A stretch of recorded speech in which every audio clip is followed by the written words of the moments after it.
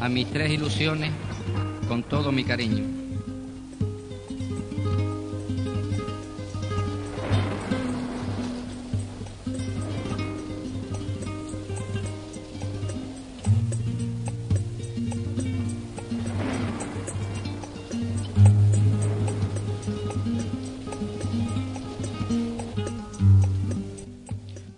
los recios nubarrones pardos. La luz del sol se ocultó en su cerro y las hartas cojollas de los árboles de un color naranja se tiñeron.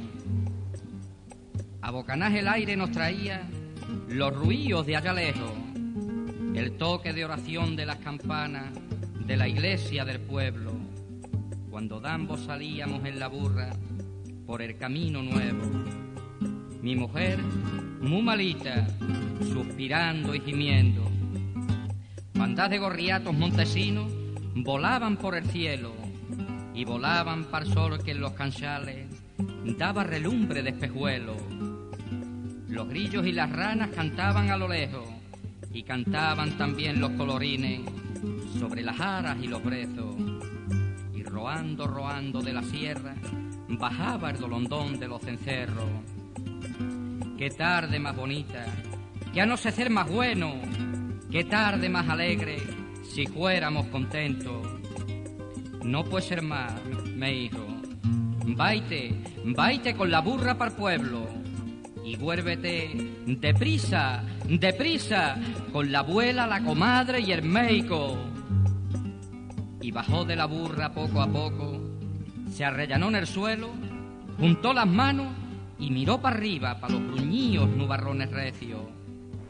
Dirme, dejarla yo a ella abandonar como un perro, en mitad de la gesa, a una legua del pueblo, eso no. De la rama de arriba de un guapero, con los ojos reondos nos miraba un mozuelo, un mozuelo con ojos vedriados, como los ojos de los muertos tengo fuerzas para dejarla sola. Pero yo, ¿de qué sirvo si me quedo? La burra, que roía los tomillos floríos del lindero, levantaba el hocico, careaba las moscas con el rabo, me miraba y seguía royendo. ¿Qué pensará la burra si es que las burras tienen pensamiento? Me acerqué más para mi Juana, me hinqué de rodillas en el suelo Hice por recordar las oraciones que me enseñaron de nuevo. No tenía paciencia para hacer memoria de los rezos. ¿Quién va a socorrerla si me voy? ¿Quién va por la comadre si me aqueo? Aturdido todo, gorbí los ojos para los ojos reondos del mozuelo y aquellos ojos tan grandes, tan abiertos, que otras veces a mí me dieron risa, ahora me daban miedo que mirarán tan fijo los ojos del mozuelo. No cantaban los brillos, las ranas no cantaban a lo lejos, las bocanas de aire se aplacaron y salió la luna y el lucero. Daba tanta quietud, musa congoja, daba yo no sé qué, tanto silencio. Me acerqué más para ella le abrazaba el aliento, le temblaban las manos y tiritaba su cuerpo. Y sus ojos, a la luz de la luna, eran más grandes y más negros. Los míos sorreaban lagrimones de fuego. Uno se escapó roando y prendió de un pelo y en mitad de su frente se quedó reluciendo. Qué bonita y qué buena. ¿Quién pudiera ser médico? Señor, Señor, tú que sabes que estamos bien casados, Señor, tú que eres bueno, tú que haces que brote la simiente que seamos por el suelo, tú que haces que granen las espigas cuando llega su tiempo, tú que haces que paran las ovejas sin comadres ni médicos. ¿Por qué, Señor, se va a morir mi Juana con lo que yo la quiero, siendo yo tan honrado y siendo tú tan bueno? Ay, que noche más larga y de tanto sufrimiento, qué cosas pasarían por mi mente que decirlas no puedo. Pero Dios, Dios hizo un milagro, no podía por menos.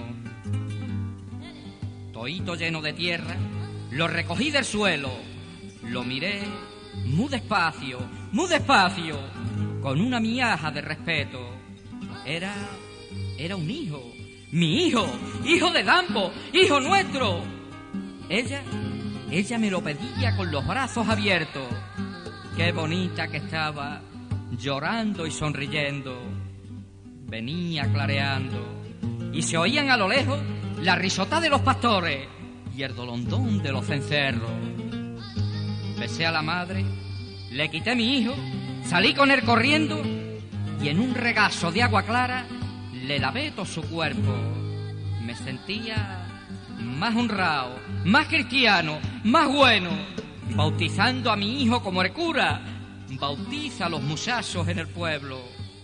Tiene que ser campesino, tiene que ser de los nuestros, que para eso nació bajo una encina del caminito nuevo.